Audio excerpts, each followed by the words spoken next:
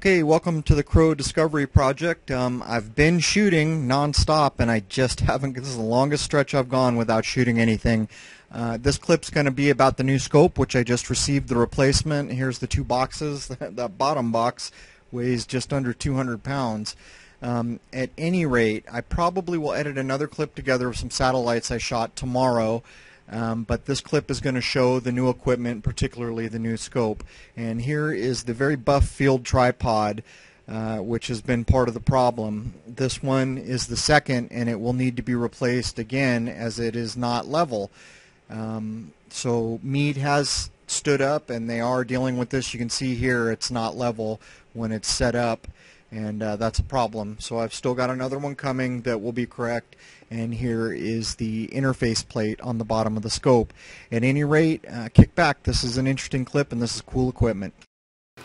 Okay, here is the new telescope. Um, it's an LX600. It's nearly twice the size of my old 8-inch. Um, I'll film. I'm going to film some of the things as I put it together so you can see all that it does. Um, this is really cool. This bottom part of the focuser is like a coarse focus. Actually, let me see, am I in focus? I don't know. But anyhow, um, I'm a little too close. This is the fine focus up here and it's kind of cool. Uh, it's very precision and I've got a little tool uh, that I made and actually I'll show you the tool. Let me see here. I'm just kind of got a pile of stuff I got to put together here. Here's the little tool. So I'll make a better one of these, but you make a tool like this and it takes the vibration out. When you put the camera on the back, every little jiggle um, gets translated onto the video. So you make a little thing, and this is just a cheapie that I made so that I can use it, and it allows you to find focus, which is really cool, and it takes the jiggle out. But anyhow, let me get some of the components going. Okay, so the first thing is the viewfinder and it's kind of cool. Uh, this viewfinder is kind of advanced compared to my other one because you've got this kind of zoom capability and focus capability. Um, this is actually better than the classic 200 one. You tighten these up and then you're going to do your alignment with those screws and I'll mount it up here. So, so this is the finder that I'm installing. It's got a little lock back here so it can't fall out the back. Uh, the little thumb screws are plastic, but in a way, it's kind of better for this, I think, to have than metal ones. The Starlock has metal ones, and I'll show you that as I do it. Alright, this is the really cool part about the scope. This is the Starlock system, and what this does is basically allows everything to be automated because what you have is a system in here with a wide view and a narrow view that acquires a star, identifies it, and then locks on that star to make sure that you track. So when you're setting up, the cool thing about it is it goes and finds the star you need to do your initial setup. Then when you're looking at things, it keeps you locked right on the uh, target, and this thing works. It's almost incredible how it works. Anyhow, Alright, and this is where the Starlock mounts. And the Starlock has all steel. Um, this is all metal screws and things to... Actually, I want to do this kind of evenly. I want to make sure that that's butted all the way up. And one of the things with the star lock is like when you want to manually sight, you look down the top of your sight like a, or the top of your scope like a gun barrel, and this kind of blocks that. So I kind of wish that they had offset uh, the Starlock. But anyhow, it's a pretty simple mount, just two screws, and then uh, you just tighten it a little, and the star lock is mounted. And there are two ports here. Uh, I think I only need to use one of them for standard use, but I'll have to to read the manual. And uh, you can see let me uh, you can see um, it's got its own little caps on the wide field and even a little tiny cap on the little narrow lock portion of it so it's pretty cool. Right. Okay so this is kind of a big improvement from my classic. This is the weight system that counterbalances your telescope. And it goes right here on this rail. Um, and the cool thing is that you can slide it anywhere you need it. So when you have your camera system hanging off the back of this thing, um, if you have eyepieces, it could be out to here, really pulling down the back of the scope. If it's just the camera, it's up here. So these weights allow you to balance the scope really well, and I'll show you how it works. Okay, so they just kind of slide on, and this is all steel, so it's really heavy duty, and I won't be able to place them until I uh, get the camera and stuff on, then I'll do the balancing routine. But it locks, everything has a hex key on this whole system. So you have about four hex keys that do basically everything. And come on. So I'll just rough place these for now. Make sure they're tight so they don't slide. And those are installed. Okay. Okay, this is another cool feature uh, that's new to this scope. Um, these are vibration pads and they go under the tripod. I'll just open one of them so you can see, but they really work. Um, this scope is so heavy when it's on concrete or something, when you walk by, every little jiggle translates into your filming. And they have created these, um, and what they do is absorb vibration, and they actually work.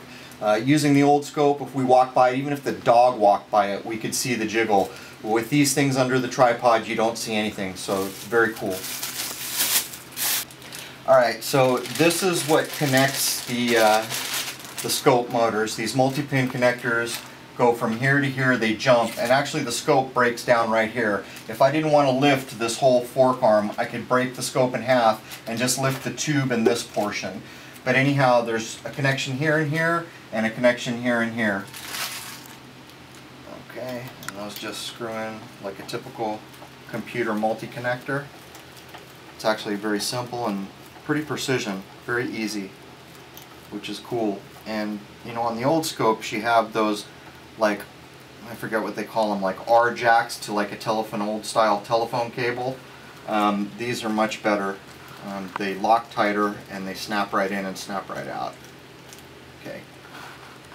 Um, okay, so this is the, the control panel and one of the cool features on the 600s is you get a hook up here which turns this into a virtual computer port which means I can jack the scope straight into my PC and that allows me to do all kinds of things.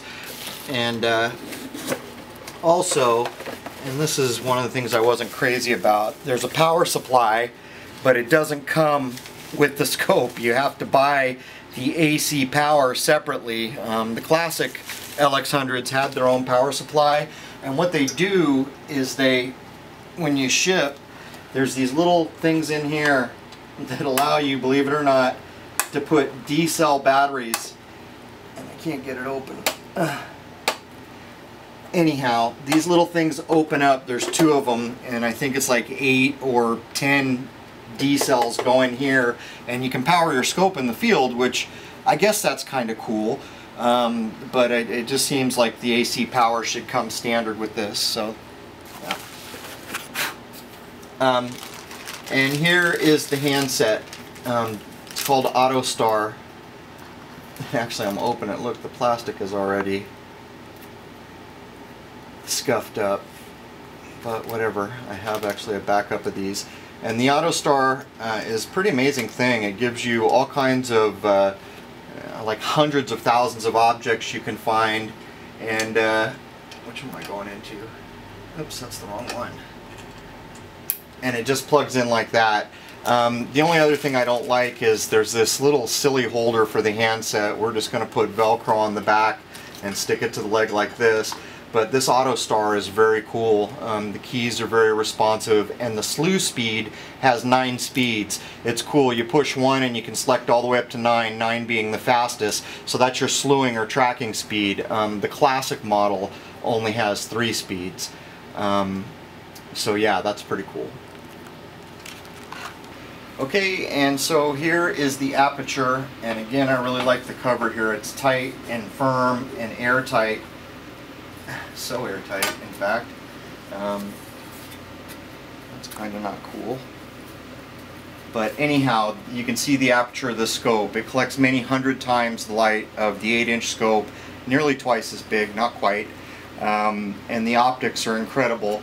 You'll notice that uh, it says ACF in here and what it means is you see a lot of people shoot the moon and the edge will be all messed up. That's called chromatic aberration and all consumer grade optics have it and what this means is that it's sharp, clear, no chromatic aberration all the way to the edges of your field of view and um, try to shoot. I'll tilt it towards the light, see if you can shoot down inside the tube. Can you see in there? At all? Yeah, well, I can see a bunch of mirrors. Yeah, so, yeah, so there's that.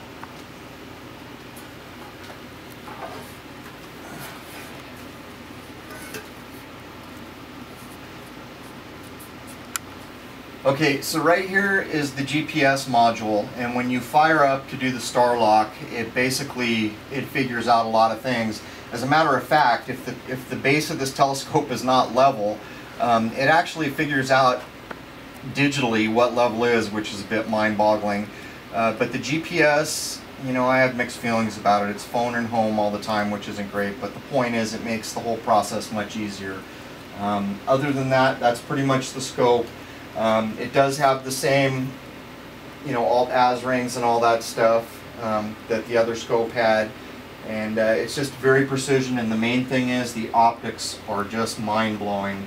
And uh, you know, for a light bucket, which is basically what this is, this is just a light bucket. It collects light, and uh, I I have a, a, lot of ability I didn't have before. So much so that when I shoot the moon now, it's actually difficult to balance the camera uh, looking at such a bright object. I may have to get some filters to knock down the surface brightness of the moon, but there it is. Okay, and so this is the new telephoto lens. Um, 80, I think it's 80 to 600, I'm forgetting, yeah, 80, 80 to 600. Um, so for daytime shots, the quality and distance that we are able to shoot has gone way up. Um, we haven't seen chemtrails in many weeks now, so I don't know what's going on with that. But just also in comparison, um, I'll show you the old 8 inch so you can kind of see it almost looks like a toy now compared to the new scope. There's the old 8 inch and it's just you know it seems tiny now in comparison but this scope is fantastic I'll never get rid of the scope and it is the scope that first captured the lunar wave so it's uh, special to me on a few counts and there it is Okay, so a bunch of people have sent me their images, uh, Crrow 777 supporters. Uh, they've been to Cafe Press and got some gear.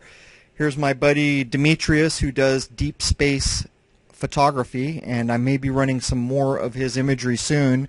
Uh, he does some really good work and he's just getting started. Here's my friend Doug with his cool classic mini. Uh, sent me this image uh, maybe a week and a half, two weeks ago. Here we have DV McGovern. We have chatted on YouTube. That's a good looking shirt. I really like that gray long sleeve with the uh, the black logo. And I haven't got one yet, but I'll have to soon. Here's my friend Gary Edmore, who is often on Facebook uh, trying to spread awareness about chemtrails. Uh, I understand his grandchildren may get these shirts soon. And here is Susanna Kentrick, who I've also chatted with on uh, on Facebook, and that is a good looking shirt. So I will continue to shoot. I'm in my longest dry spell to date of not shooting anything, and we have not seen chemtrails in many weeks, which is nothing to complain about. But uh, there it is. Cheers.